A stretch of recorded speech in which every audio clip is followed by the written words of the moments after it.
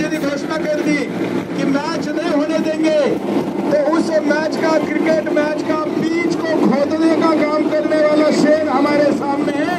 उनका हम सब स्वागत करते हैं। मैं उनके पास जाऊँ